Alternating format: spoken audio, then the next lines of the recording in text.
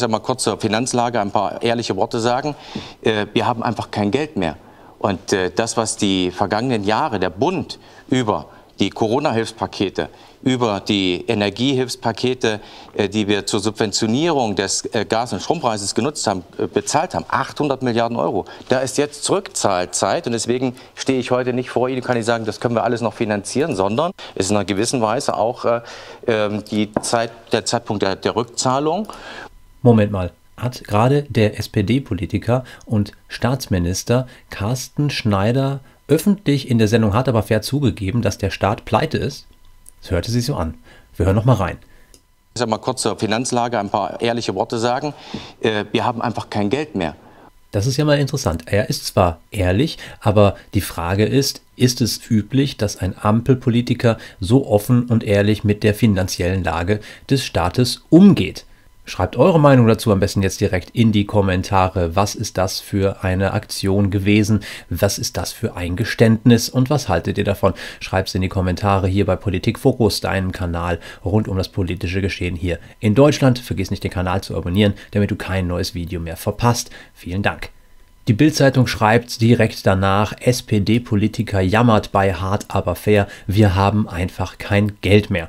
Das ist schon eine heftige Aussage und genauso heftig war dann direkt das Feedback seiner Parteigenossen, denn gebrieft wurde offensichtlich vorher nicht, dass er diese Aussage vielleicht besser nicht getätigt hätte.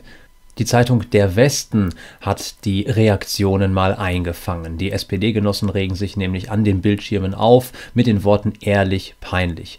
Bei linken Sozialdemokraten heißt es hier, die das starre Festhalten an der Schuldenbremse angesichts der nötigen Milliardeninvestitionen in Infrastruktur und klimaneutrale Wirtschaft kritisieren, kommen diese Sätze schlecht an.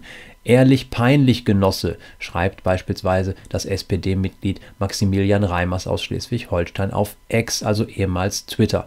Und weiter schreibt er, du bist auf SPD-Mandat gewählt, vertrete doch bitte auch die Position unserer Partei und rede keinen finanzpolitischen Gigadünnschiss. Das sind mal klare Worte. Luca Fischer von den äh, Jusos postet ebenfalls dort zu diesem Ausschnitt von Hart aber fair, den wir auch gerade uns angeschaut haben. Dieser Partei anzugehören tut oft wirklich weh. Heute ist mal wieder so ein Tag. Der Freiburger SPD-Mann Martin Günzel schießt gegen den parteiinternen Flügel, dem der Staatsminister angehört. Er sagt, Carsten Schneider ist Seeheimer, die haben noch nie wirklich sozialdemokratische Finanzpolitik betrieben. Also ganz heftige Aussagen und zwar aus den eigenen Reihen. Ob das der Ampelkoalition und der SPD an sich gut tut, das ist vielleicht äh, besser von euch zu beantworten. Schreibt eure Meinung zu diesem Zitat und zu den Reaktionen in die Kommentare. Und jetzt gucken wir uns erstmal an, was es denn mit dieser Aussage überhaupt auf sich hat und ob der Staat wirklich kein Geld mehr hat und woran das liegt und vor allem, was das für uns als Steuerzahler bedeutet und für unsere Zukunft und vielleicht auch die Zukunft unserer Kinder. Wir sehen es hier aus äh, dem Merkur. Es klafft eine Milliardenlücke im Bundeshaushalt und genau da in diese Situation hinein kommt dann der liebe Herr Schneider mit seinem überraschenden Geständnis. Seit dem Urteil des Bundesverfassungsgerichts im November 2023 kennen wir alle diese Milliardenlücke. Erst nach zähem Ringen konnten sich die Spitzen der Ampelparteien auf einen Finanzplan für dieses Jahr, also für 2024, einigen und auch für 2025 droht der Regierung erneut ein harter Kampf. Schneider ist Staatsminister beim Bundeskanzler und Beauftragter der Bundesregierung für Ostdeutschland und der hat dann mal tatsächlich Klartext geredet. Viele von euch haben auch von dem äh, Klimageld gehört, das eingeführt werden soll, um von den steigenden Kosten durch die CO2-Bepreisung die Bürgerinnen und Bürger zu entlasten. Das äh, ist hier auch nochmal wiedergegeben. Aber äh, hier vor, bevor es soweit ist, müssen organisatorische und technische Hürden überwunden werden. Und darum fragte der Moderator Klamroth in der Sendung bei Hart aber fair, den lieben Herrn Schneider, ob das Klimageld denn noch vor der Bundestagswahl 2025 eingeführt wird. Und da war auch die klare Antwort, nein, die Einführung des Klimageldes verzögert sich. Das Klimageld wird kommen, aber erst in den nächsten Schritten der Erhöhung in der nächsten Legislaturperiode, sagte Schneider. Die Frage, die sich stellt, ist, ist die nächste Legislaturperiode noch von der Ampel geprägt? Denn auch da könnte es ja vielleicht etwas anderes geben. Die Erhöhung des CO2-Preises sei noch von der letzten Regierung beschlossen worden. Die Mittel, die dadurch eingenommen werden, dienen dazu, dass wir zum Beispiel die EEG-Umlage senken und den Umbau der Energie subventionieren, sagte Schneider. Und erst danach könne die Bundesregierung die Bürger entlasten. Das heißt also mal wieder warten für uns. Und warum ist kein Geld mehr da? Weil der Bund unter anderem in den vergangenen Jahren allein für die Corona-Hilfen und die Subventionierung von Gas- und Strompreis 800 Milliarden Euro ausgegeben hat. In der Sendung war auch äh, Zura Wisnic, Friseurmeisterin aus Remscheid, und sie hat gesagt, erstmal müssen wir uns um unsere Leute kümmern. Deutschland muss stark bleiben, damit es anderen helfen kann. Und dabei spielte sie auf die Debatte um die Entwicklungshilfen der Bundesregierung an, also viele, viele Millionen, die in andere Länder gehen, anstatt in Deutschland sinnvoll eingesetzt zu werden. Wobei Schneider konterte, ich glaube, dass dieses Land deutlich stärker ist, als es gemacht wird. Spannenderweise ist es aber tatsächlich so, dass eine Menge Gelder ins Ausland gehen. Die NNZ Online geht in einem Kommentar sogar noch weiter. Hier heißt es, wir verlieren unseren Wohlstand. Wirft man einen Blick auf eine junge Veröffentlichung des Statistikamtes Eurostat in Luxemburg, dann sieht man, wie viel Geld denn tatsächlich ins außereuropäische Ausland abfließt. Eurostat teilte vor einigen Tagen mit, dass im vergangenen Jahr 43,5 Milliarden Euro auf Konten in europäischen Nicht-EU-Ländern eingezahlt wurden. Und das bedeutet einen Anstieg von 14 Prozent im Vergleich zum Vorjahr. Das Geld floss hierbei vorwiegend in asiatische und nordafrikanische Staaten und es handelte sich ausschließlich um private Überweisungen, nicht etwa um Gehaltszahlungen ins Ausland. Mit 43,5 Milliarden Euro könnte man auch in Deutschland selbst eine ganze Menge anfangen. Und es geht hier weiter in dem Artikel mit der Erklärung, unser Geld wird sozusagen dort zwischengelagert und durch andere dunkle Kanäle weiter transportiert. Eine alarmierende Zahl. Aber wie kann man diesem Entzug finanzieller Mittel aus unserer Volkswirtschaft entgegentreten? Wie kann man sicherstellen, dass nicht weiterhin maßlos Steuergelder und weitere finanzielle Mittel ins Ausland abfließen? Hier schreibt die NNZ, ein erster Vorstoß in die richtige Richtung könnte die Einführung von Bezahl- oder Guthabenkarten für Migranten sein. Das hat den Vorteil, dass das Geld dort gebunden bleibt, wo es für soziale Leistungen, und zwar für den eigenen Lebensunterhalt, hingehört, hier in Deutschland. Hier wurde es erwirtschaftet und hier sollte es im Idealfall auch reinvestiert werden. Die AfD hat dazu übrigens schon einen Vorschlag in den Bundestag eingebracht mit dieser Geschichte.